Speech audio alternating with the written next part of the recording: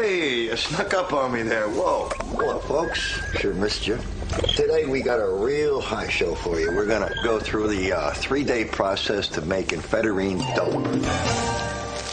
Now, I have the water ready here, and we're gonna dump in some of these beautiful super dream pills. We want to just drop these little beauties in here. There we go with the goodies. We want to let this boil. We want to get it going for about 16 hours.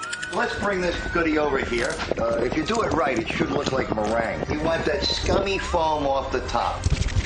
Aha, voila, look what we have here. Oh, does this look good. Okay, now just for a touch of a little bit of, hmm, we add a little MEK. Just enough to give it a little shot in the ass, you know what I'm saying?